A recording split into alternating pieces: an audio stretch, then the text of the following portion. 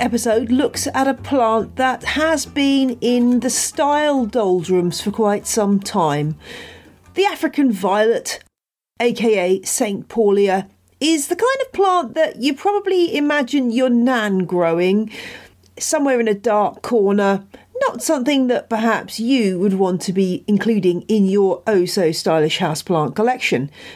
But think again because African violets are on the way back up. These plants are starting to be recognised as one of the most wonderful houseplants. I admit I've been a sceptic in the past, but I'm quickly coming round to the view that these plants deserve a place on the ledge. My interview today is with Annie Rieck, who has her very own African Violet podcast. Annie is a member and a judge of the African Violet Society of America. She started growing seriously in the late 1990s, and her collection has been growing ever since. I start the interview with a bit of a confessional to Annie about my love hate relationship with the African violet. I have to admit, Annie, that I, until very recently, uh, end of last year, I hadn't had an African violet in my possession since I was a teenager. They were plants that I was one of the very first plants that I grew as a teenager, getting into house plants and a child. But then for, at some point, I kind of went off them. I have to be totally honest with you. Sure. Uh, this, despite my love of many of the other members of the Gesneriad family. Um, and I guess there is a bit of a, an unfortunate stereotype that these plants have mm-hmm. somehow accrued that they're kind of little old ladies plants, which I hate. The, I hate the phrase "little old ladies" mm-hmm. anyway. But mm-hmm. this idea that they're sort of sitting on a doily, you know, looking kind of old-fashioned. How do we go about countering that stereotype of African violets? And, and tell me about why you love growing them. Well, I think that's a really good question, and I wish I could answer it definitively, but I can't. But I can give you my thoughts on it. I think that African violets have an undeserved reputation as being difficult to grow. And so I think that that that that keeps it with that stereotype of the you know that your nan grew them and that that they're not a, a, a trendy or cool plant to grow now. But they are seductive little plants. You know, once you start growing them, they kind of suck you right in and you begin to really enjoy them. And I I began, like I said, I began to grow probably in the late late 90s, 1990s. Um, but my, I had tried multiple times before that to grow. I was given a leaf of an African violet in college and given completely wrong directions on how to propagate it. And of course, it rotted and died. I was given an African violet years later as a gift. I could never get it to bloom again. And then I discovered I, have a green thumb. Like you, I love house plants. I'm sitting in my sunroom now, which is filled with house plants. And I thought, this cannot be rocket science. I have got to be able to grow these. And I rescued some from a local grocery store called the Jewel here. It would be like going to Tesco there and grabbed a, a bunch, uh, three of them and brought them home. And the internet was just getting started uh, at that time. And I discovered you know, used to be something I think is still in existence, America Online. And I really learned to grow African violets online. So for me, they were never a little old lady plant. They were not my, my grandmother didn't grow them. Both my grandmother and my mother uh, were actually uh, my my my mother was born in Belfast in Northern Ireland, and uh, my grandmother and my mom loved they loved outdoor gardening. I was always the indoor gardener, so you know I I do think people think they're difficult to grow when they're when they're not. There is a trick uh, to that, and uh, because most people buy them in a store, and they overwater them and they die, and then they think, well, maybe you have to have a lot of time to grow these. And mostly people who are retired have a lot of time. And I think that's where part of that stereotype comes into play. Yeah, I think that's very true that we do we do sort of I think a lot of people try these things once and then as you say they just think they're doing the right thing by keeping that watering can moving mm-hmm, and then mm-hmm. they think oh no this is all too tricky. I guess that they're very widely, still very widely available. I, in the US as they are in the UK. Yes. Uh, you know, over here they're often, you know, you can often see trays of them in garden centres and also in supermarkets and places like that. They are still being sold, um, but they're never one of those plants that when you see those kind of trendy plant write-ups, they're never, very rarely mentioned in there, which I think is a shame. I, I think actually the whole Gesneriad family is missing out on in this in this front. I agree. Tell us, Annie, your your top tips for African violet success. The thing to remember the most about them is and that and there is a little trick if you buy one in a store, at least here in the US, if you get a violet at a, what we call like a big box store, garden center, or a uh, we have them like at the local Home Depot, which is like a building home supply place. But the majority of them come from large commercial growers. And when they're grown in a greenhouse, they're grown in a very heavy peat moss mix. That's to keep them stable, first of all, in the greenhouse situation, but they ship them. And that's to keep the plants stable in the pot so they don't fall out, get dirt everywhere. And if you know about peat moss, which I'm sure you do, Jane, it, it holds water. And that's why it's so easy to overwater them when you buy one from a big box store because it's in an almost solid peat moss mix.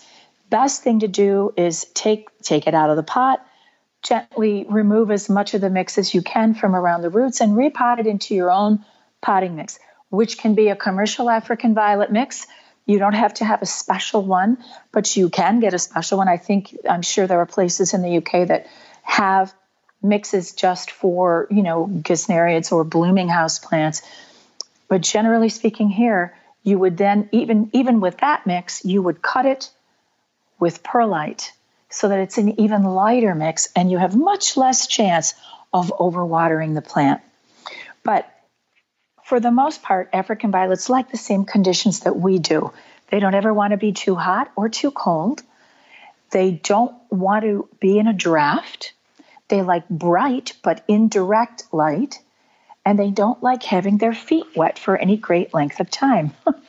so that that's that whole the, the most common reason that an African violet dies is that it has been overwatered. And the most common reason that it doesn't bloom again is that it's not getting enough light. Yeah, I think my my one African violet that I currently own, I think this is what's wrong with it at the moment. It's it's not getting enough light, and also it definitely needs some new potting mix. Uh, I've been I've been somewhat ignoring it over the winter time. It has to be said, um, and I've been mm-hmm. thinking about getting some specialist African violet compost, but I know actually I could probably just make up my own fairly easily.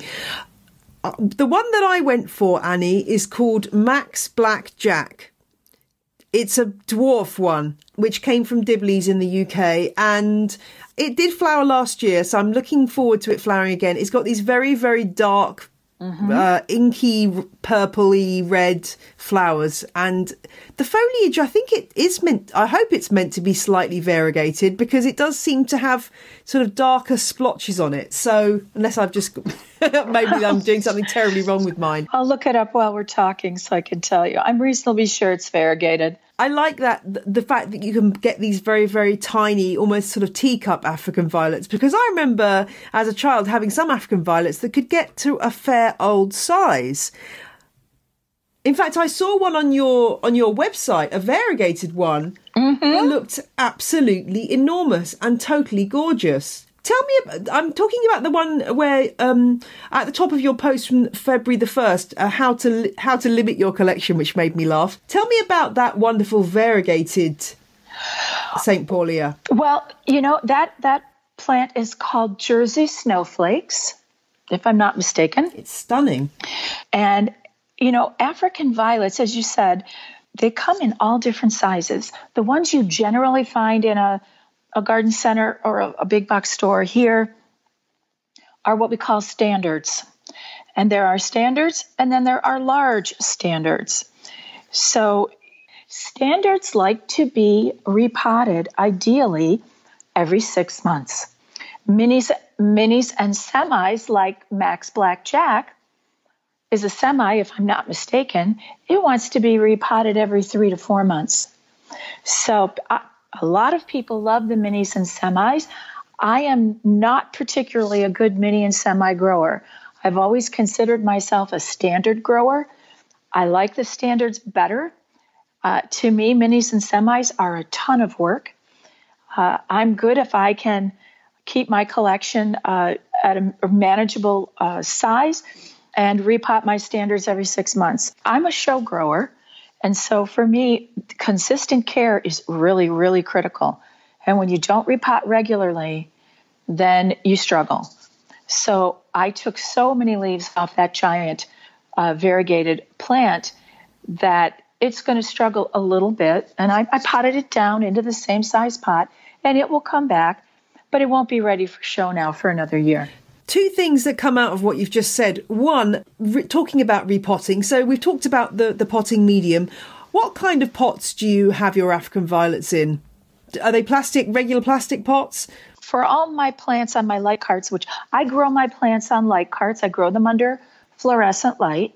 I did try LED lighting, and in fact, uh, I just made the decision. I, I did that for about nine months and I decided that in my growing conditions, LEDs are not ideal. My plants prefer my old school, they call them here T12 fluorescent tubes.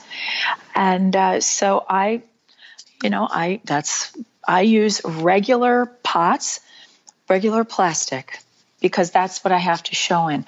But I generally also grow at least one violet in a window uh, using a self watering pot, a ceramic one, because that's how most people who aren't show growers grow them. I believe you know Dale Martens, who I spoke to about Streptocarpus, and she was waxing lyrical about self watering pots, which convinced me to give them a try. It's a really great way of watering if, like me, you're worried about inconsistency and I'm yes. terribly, I'm a terribly inconsistent waterer. So that's that is a top tip. What what direction is your uh, windowsill facing where you have your African violets? Is it um, presumably not south facing? No, although you could grow in a south window with a little bit of adjustment. Generally speaking, as I mentioned before, African violets like bright but indirect light. I have grown violets just on a windowsill in the past, and in my experience, they like a north an east or nor, nor, east northeast exposure. That seems to be ideal. And I would usually say, I would say I probably have them about a foot from the window, anywhere from six inches to a foot away from the window. In the winter, when it gets cold, now in my sunroom, the, the windows are new, but in my the main part of my house, they're old single pane windows. So you know, in the winter, that cold on a windowsill you would have to move a plant away from that. It will get too cold in the winter. So I do that easily here if I have it on a light cart or if I have it on a stand by my window. I just move the stand back a little closer into the room, a little, you know, if I think it's going to be too cold, which I did during the polar vortex. Just explain. I, I, I think I know what you mean by a light cart, but can you just explain what that looks like for any listeners who can't picture it? Uh, it's a cart on wheels. Mine are two foot by two foot wide. I, you know, they're, so they're they're tall square towers is what they look like. Mine do. And uh, again, uh, you know, I'm not metric, so don't worry. you'll have to you'll have to translate that for everyone, Jane. But they're two foot by two foot, and they have four shelves, and then they have light fixtures for each of those shelves.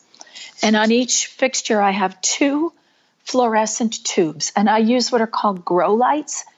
Those type of tubes that here in the U.S. they were often used um, for aquariums.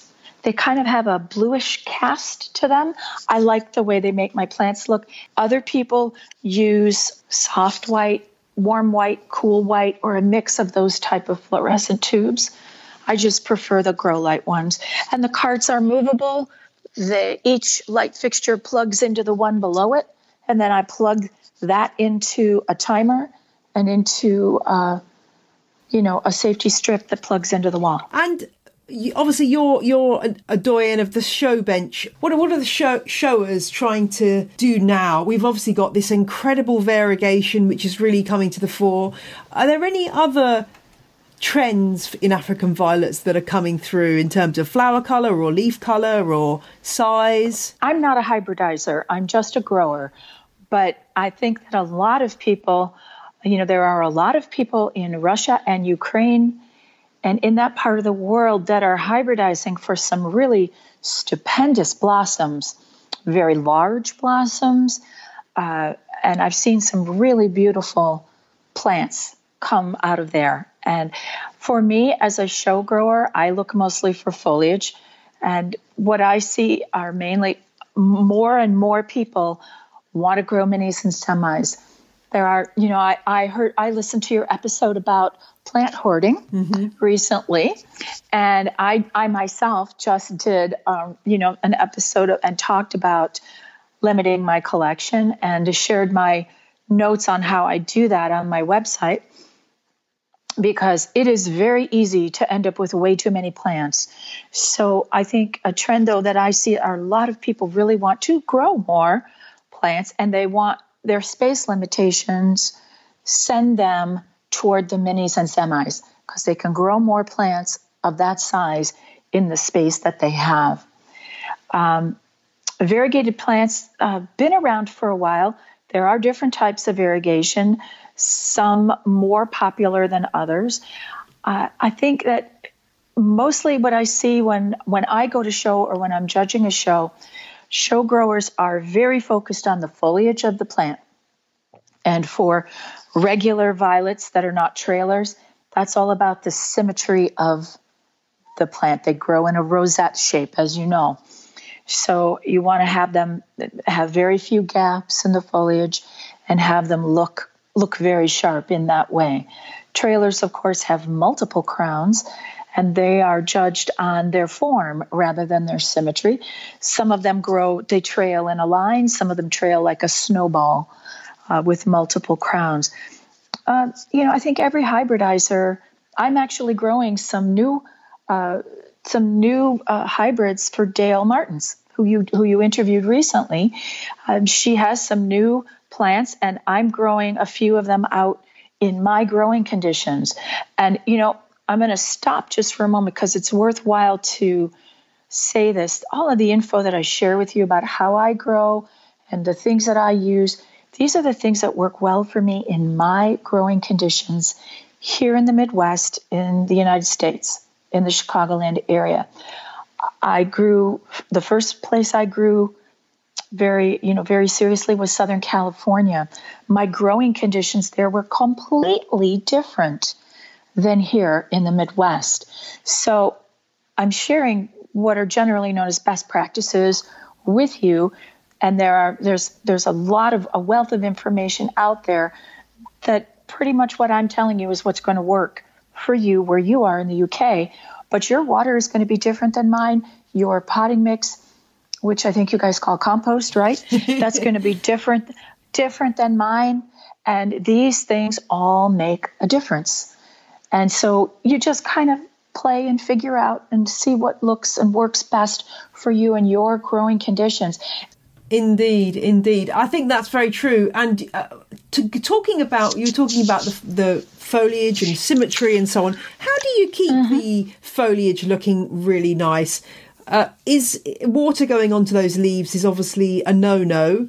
I presume. What are the ways of keeping the foliage looking really nice? Because whenever I repot, I end up with a plant covered in in flecks of compost, and then I'm thinking, oh gosh, how do I tidy this up? Well, um, actually, there are a couple of things, but the easiest way to tidy that up is it happens, believe me, it's not just you. It happens every time you repot. It happens to me every time I repot.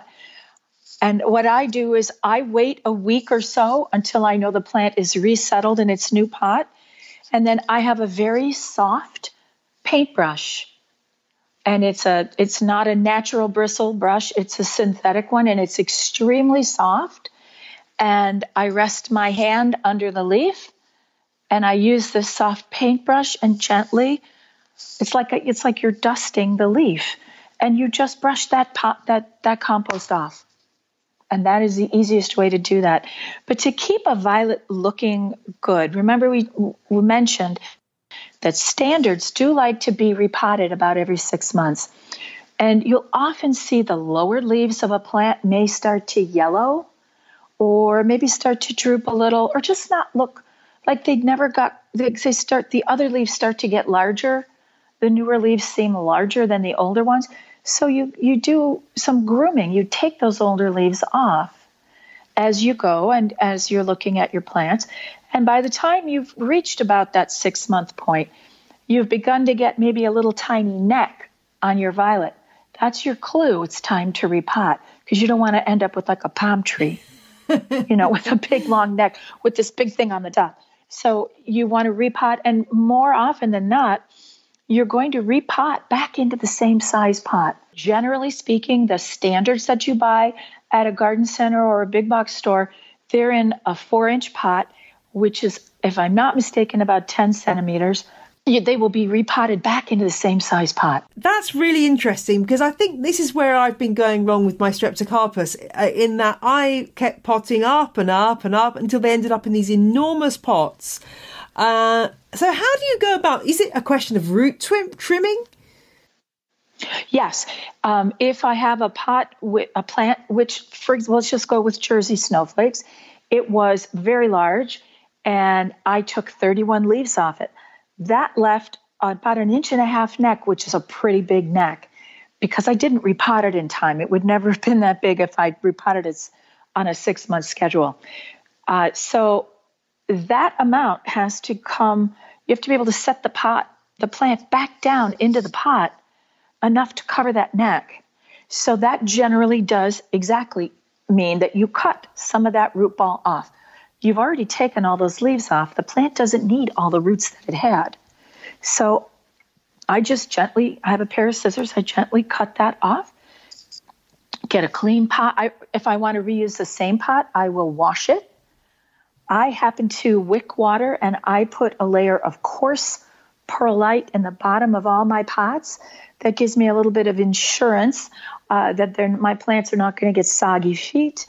And then I set that plant back down on top of that and then add more potting mix back up to the top and let it go on its merry way. If I take nothing else away from this conversation, that is the, a brilliant tip, which I'm now going to be taking to heart. Well, and violets are usually hybridized to be a certain size.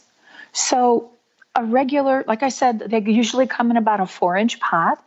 And with regular grooming and consistent care, they'll stay in a pot that size. If you were propagating from a leaf, you're going to start in a little tiny pot and move up in size till you get to a four inch pot. And generally speaking, most most standards are never going to go bigger than that. I happen to like growing large standards. It's kind of it's very gratifying when you grow a plant that big and you take it to show and it's really in full full bloom. It has a very strong head of blossom.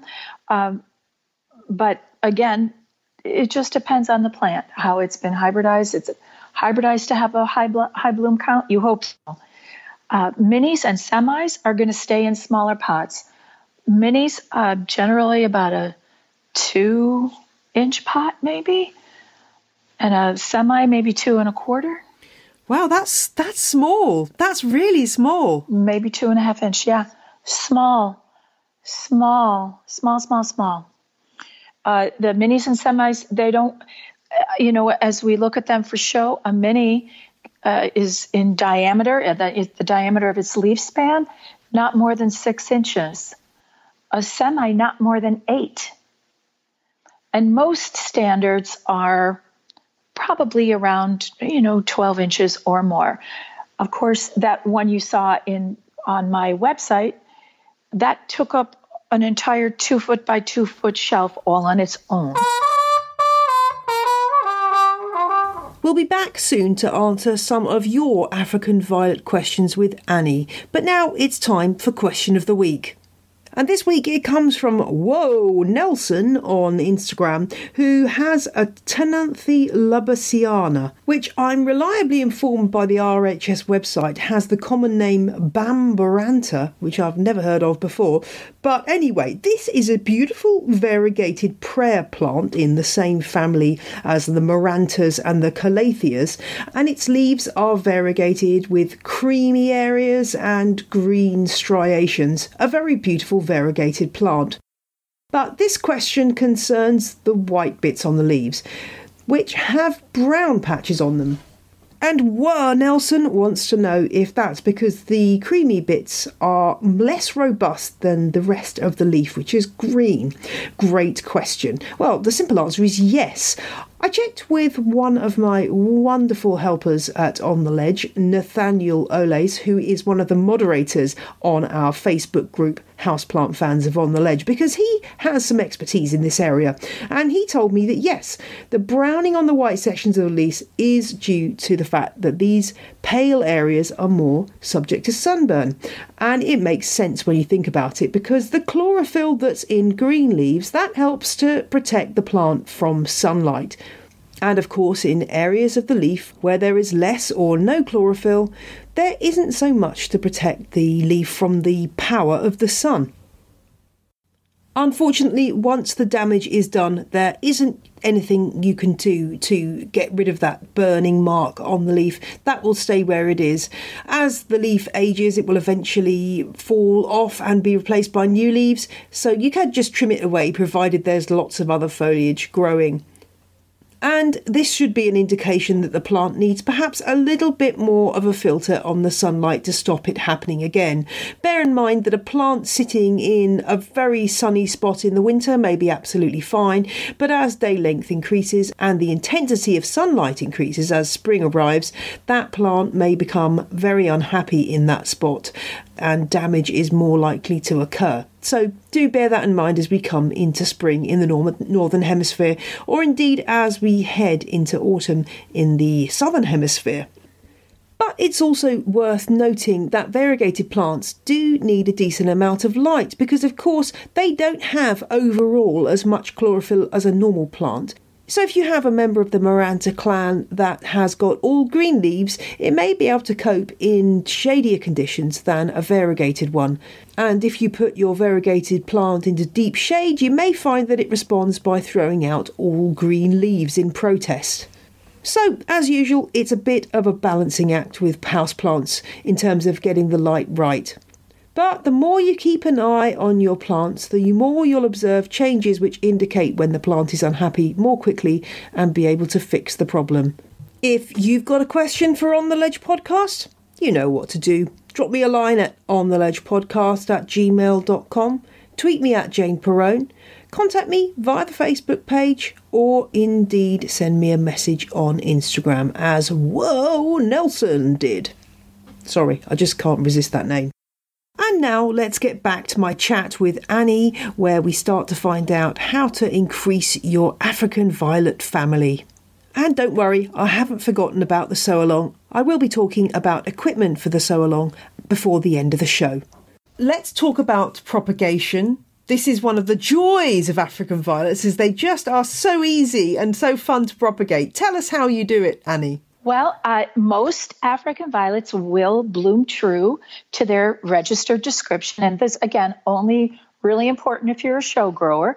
Uh, but you can take a leaf from one of your plants and you can propagate it and grow babies and have more more babies of that that same plant that will will grow from it. It's kind of like cloning, really. And the things that you you will need, you need your potting mix and a pot, a small one and you'll need if you have a a domed tray like if you are used to propagating maybe you start seeds indoors for your outdoor garden and you'll have a domed tray that you know makes a little like greenhouse for them indoors. That's great. If you don't you can use a ziploc bag you know a sandwich bag that you can close up and make its own little individual greenhouse. So you take that leaf. You also need a sharp edge either an X-Acto knife or a single edged razor blade, and you'll make a sharp 45 degree angle cut on the stem I usually slice a bit off the top of the of the leaf as well. In theory, that's supposed to stop the leaf from thinking that it's growing and it makes it think, oh, I need to make roots and send out babies. Whether or not that's true, I, I can't say for sure, but I do it as a matter of course. So I would slice off that top. And you cannot use just scissors, you have to use that sharp razor blade edge to make a sharp, clean cut. Otherwise, it will the stem of the leaf will rot. But I use the same uh, medium that I use, the same potting mix that I use for my violets. I use to put leaves down, and I use um, little plastic cups that are like three ounce cups, and I I uh, put a wick in them and make holes in the bottom. Put a wick in them. Put a layer of coarse perlite, just like I do with my plants. Put some potting mix in. Use a pencil to make a a hole in the middle, put the leaf in there, water it in, and put it in the bag and leave it in a warm place on my plant stand where it's getting light and uh, let it grow and it will grow. Some of them are faster than others. It just depends on the plant. But the next thing you know, you have little mouse ears coming up through the soil and uh, and you've propagated your first violets. That's so, such an exciting moment, isn't it? And how long how long is it from doing that, from seeing those first leaves to getting that new baby to flowering? How long does that does that take? I would say that takes longer. To get the leaf to once you have babies, that can take anywhere from 8 to 12 weeks. You know, it depends on the plant again. And then once you have to let it grow, you have to let the babies grow till they're big enough to be removed from the mama leaf and potted up on their own. And then you need to let them grow and bloom. Uh, and then decide if you like them and want to keep them and pot them on and, and grow them. For standards, it can take up to a year, I would say, to get to that point. That's another reason why people are so keen on minis and semis. You can actually get a mini or a semi into show shape in about six months. I, uh, that you really can if you you know have the right the right conditions and you are very focused and do everything you need to do and take care of it and keep, you know, repotting it every three to four months once it's in its pot and, and to go. So it can take a little while. There is some patience involved, but uh, the rewards I think are worth it. And in the grand scheme of things, compared to some other flowering house plants, that's not oh, a great yeah. amount of time anyway. That's uh, yeah, that's quite quick, no. really. And you know, they bloom all year round. It's not like they're, particularly if you have a light cart like I do, um, like a lot of times at Christmas when I know I'm before Christmas, if I know I'm not going to go to show anytime soon after that, I'll put my plants on a what we call a pre-show schedule that is about 12 weeks long, and uh, I will disbud them until just before Christmas, and they will come into bloom at Christmas time, and have be this beautiful secret garden in my sunroom in the middle of this cold uh, winter snow, and it's really quite wonderful when that happens. So they will uh, they will bloom all year long. They they're not particularly dependent on the seasons. Now, I had a few listeners weigh in with some questions which I wanted to oh. ask you about. Um, okay. One of whom was asking about feeding African violets, whether there's any tailored feed that suits these plants, or if they're okay with general houseplant feed that you might be plant feeding to any other kind of house plant? It depends. That's one of those questions. This could go a, a couple of different ways, um, and which is often the case with African violets. Things can go one way or another. Um, I the commercial pot, I use a I personally use a commercial potting mix, and it does not have fertilizer in it. But the, for my big box violet that I repot into a commercial mix, that commercial mix comes with a six month time release fertilizer. So if I'm using that type of potting mix, and I don't know if that's available in the UK or yeah, not, most but if I'm yeah, using most houseplant mixes would have some fertilizer in them for a yeah. Okay, so if you're using a mix that already has fertilizer in it, then you do not need to use any other fertilizer because where African violets are concerned, in fer- with fertilizer, less is more. So it, you do not want to be watering like with a another fertilizer on top of a, a potting mix that already has fertilizer in it that is time releasing over a specified period of time. Here, it, they usually say it's good for six months, which works great for the standard African violet because it wants you to repot it in six months. And then you're getting a new batch of potting mix that has fertilizer in it. So you don't need to add any more. But if you're using a professional mix, like I use for my show plants, then yes, I'm using a water soluble fertilizer that I get from Optimara, which is a large commercial grower here in the United States.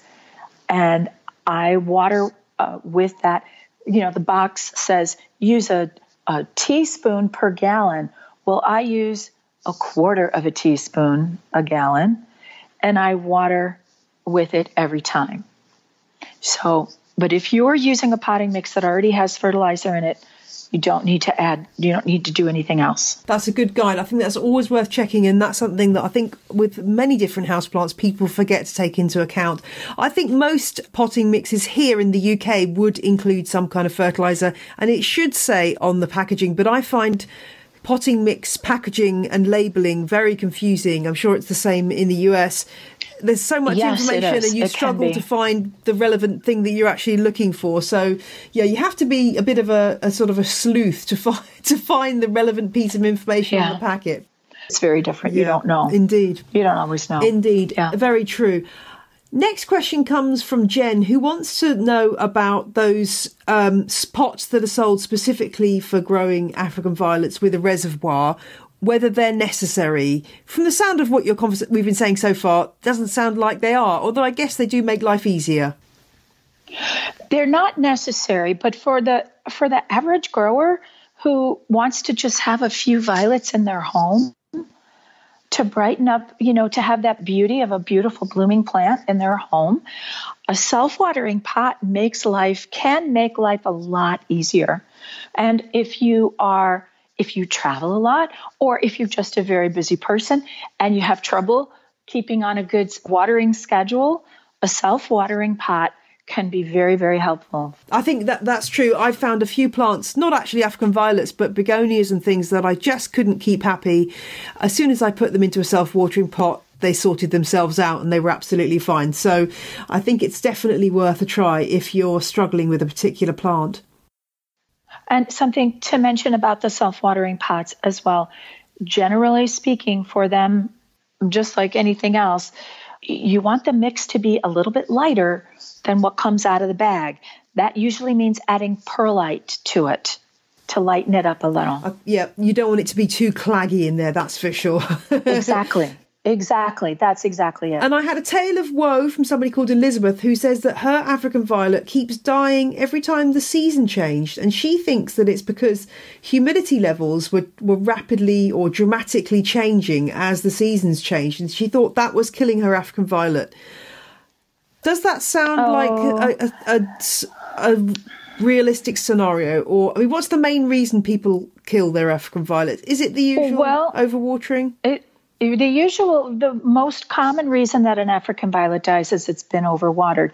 And without knowing more about her growing space and without seeing maybe a picture of her affected plants, it's hard for me to give a definitive answer. But generally speaking, my guess is that it's possible she was growing on a windowsill and winter arrived, the heater turned on the furnace went on. And you know your your climate is not as extreme as where I live but when the furnace goes on the air gets dry. And if it was by very close like on a windowsill close to a window and it got cold it might have just shriveled up. It's hard to know it's hard to know. But if it is a humidity or lack of humidity issue something she could try is grouping a couple of plants together on a tray with pebbles in it. Small pebbles. You can buy, you know, clean pebbles at the, you know, at a, a, a supply store of any kind, and then uh, put water in the tray.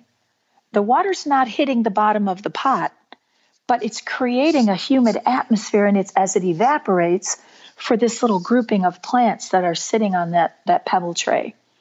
So that could be that would be something to try if it really is humidity related. If she finds um, that her that the leaves are turning sort of brown and glassy and mushy looking, that to me says um, it's been overwatered and it's rotting away.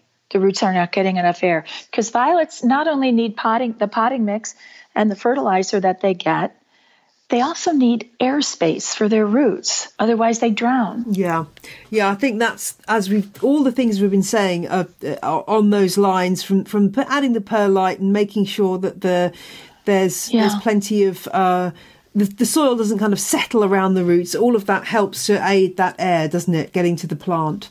Definitely. Yeah. Um, and Alyssa's question kind of relates to what we were talking about earlier. She wants to know how to keep African violets in a tidy shape. Presumably, that's just a case of removing those leaves as the rosette grows from, from the outside. Yes. Do you have to use a, a sharp? I've got a terrible habit of just kind of like snapping them off. Is that a really bad idea, or is that okay? No, that's the right thing to do.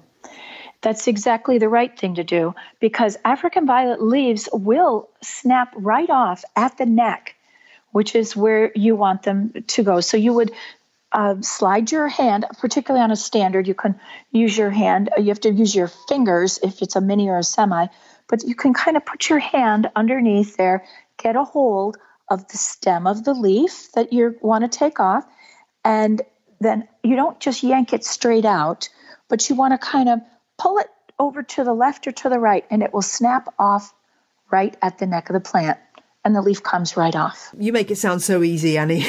it is. It's easy peasy. Yeah, no, I'm sure. I'm sure that's true. And um, what, let me just look at my questions again because I've suddenly lost my train of thought thinking about snapping off leaves. Um, so, so humidity, we don't really need to worry. Uh, apart from uh, things like the the heating going on, they're not. They don't need mad high levels of humidity, do they, African violets? No, no, no. I don't think so. I mean, obviously, all plants and all humans like to be a little more humid than dry you know but the only time i really where certain plants, I am growing a gesneria, one of the cousins of the African violet.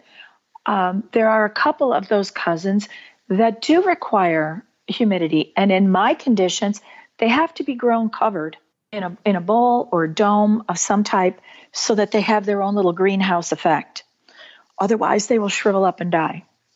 But in my experience with African violets, both with hybrids and with species plants, they they're growing here in Chicagoland in the middle of winter and in the middle of a polar vortex with two furnaces going. One of my furnaces does have a humidifier on it, but I also grow them.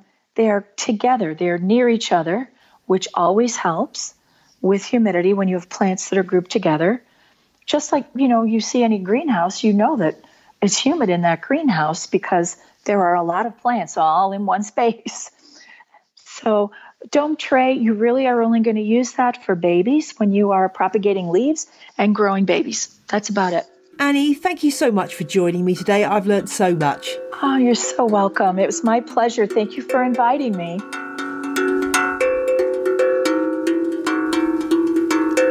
I hope that's inspired you to take a fresh look at the African violet perhaps if you're a dedicated grower of these wonderful plants, it's given you a new enthusiasm to try some different ones. Do check out my show notes where I've got a list of books and resources recommended by Annie and details of the African Violet Society of America, which is definitely worth a look if you're an enthusiast for these wonderful plants. Don't forget, if you're interested in finding out about my Patreon campaign, details are also in the show notes. Find out how to get your hands on an exclusive digital artwork by the aforementioned Nathaniel Oles by becoming a monthly contributor to On the Ledge on Patreon. And now let's get on with the On the Ledge Sow Along, Part 2. Let's begin by talking about what we'd call in the UK seed compost, but what you might know in other parts of the world as seed starting mix. So, in other words, the stuff that you're going to sow your seeds into. It's important that you get a good quality seed compost or seed starting mix because this really is the base from which your seeds will start their growth. If you try to use some other kind of potting mix that's not designed for seeds, this tends to be much more bulky and particularly tiny seed will really struggle to germinate. The other issue is that seed starting mix should be a low nutrient mix, and this is because seeds, when they start out, they've got everything they need inside that embryo, inside the seed coat, and they don't really need much in the way of nutrients when they start growing. Of course, once you prick them out and move them on as they start to grow, they probably will need a more nutrient rich compost. But for the minute, as they're starting out and germinating, seed starting mix is what you need, and that does tend to be low nutrient and tiny particles which allow air in between them. The roots need air as well as moisture but particles so small that they won't impede the progress of the shoot as it emerges. Depending on which country you're in, there will be lots of different choices on the market. Go for a good quality one, it isn't really worth skimping on this stage of the game.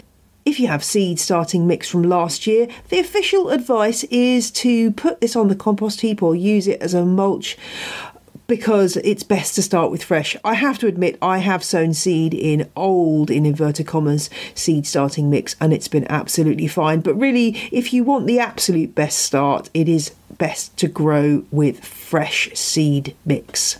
What else do you need? Well, not a lot really. You can sow in absolutely any kind of container provided it's got some drainage holes. So if you're trying to reduce, reuse and recycle, you might be using some meat trays with holes in the bottom that you get in the supermarket or ones that come with veggies in them. Uh, they've already got holes in the bottom and sometimes you get a top with them as well. So you can use that as a mini propagator. Or if you're a little bit more fancy, you might have an actual heated propagator. The one I've got is called the Garland 7, and it's a plastic base with seven individual seed trays with their own little clear plastic domes. And underneath that tray, there are electric cables which keep the compost at a temperature of around 18 22 degrees centigrade, which is just about right for many house plants to germinate. You can buy one of these quite cheaply online or in your local garden centre. If you don't want to splash out on one of those, the best course of action is to put your seed tray either cover it with a plastic bag and seal that up, or if you've got one of those aforementioned plastic domes from the supermarket, close the lid down on those and put them somewhere warm and sunny. But do keep an eye because if the seal isn't completely tight, then you will find that evaporation occurs from the soil and it will dry out quite quickly in warm environment. If the seal's pretty good, you should find the condensation lands on the glass or the plastic and runs down and goes back into the soil. Labels are always useful. I really let myself down last year with my cactus sowing in that my labels were so rubbish I now don't know which baby cacti are which, which is not great. So do try to label everything. I tend to use a white plastic label and use a permanent marker pen to write down exactly what the seed is and when I've sowed it. Other things that are worth having? Well, if you're sowing really tiny seed, then something like horticultural sand or silver sand, as it's also called, is really useful for mixing with those seeds ahead of sowing so that they could just so that they're a lot easier to sow than if you're trying to sow this tiny bits of dust. So you mix the, the seed into the sand and then you sow that on top and you don't put anything else on top of the seed.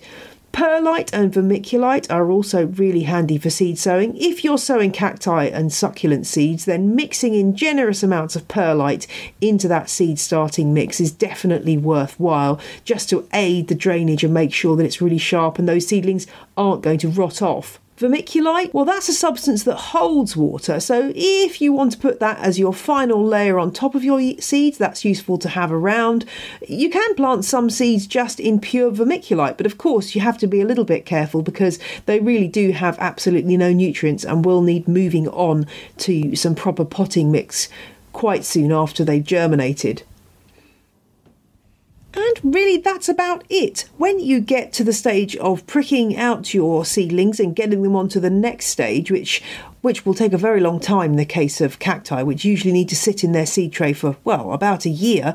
But if you've got something a bit more quick growing, then you will need to prick those out. And you can buy little dibber devices which you can use for making holes for bigger seeds. And at the other end, they have a little prong which you can use to prick out seedlings.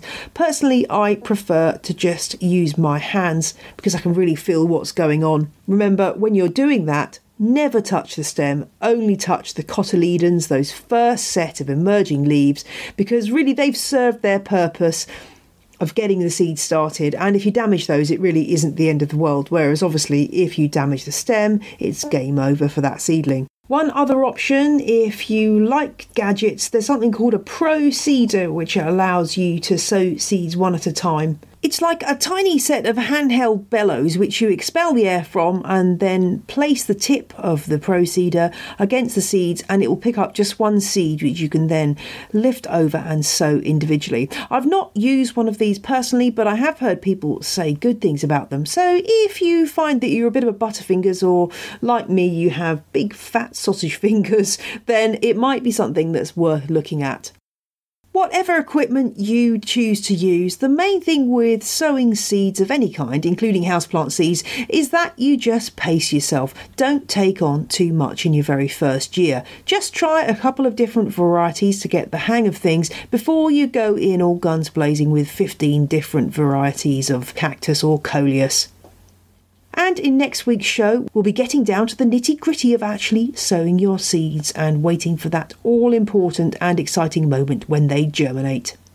Remember, if you're posting anything about the On the Ledge Sow Along, use the hashtag hashtag OTL Sow Along on your Instagram posts, Facebook posts, Twitter posts, and so on, just so that I can see it.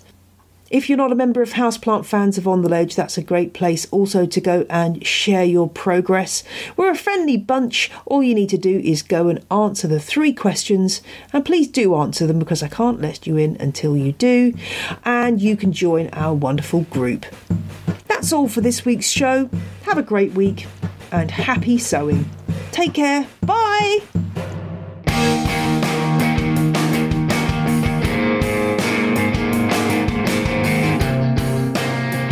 Music you heard in this episode was Roll Jordan Roll by the Joy Drops, an instrument the boy called Happy Day Gakana by Samuel Corwin, and Overthrown by Josh Woodward, all licensed under Creative Commons. See my website for details.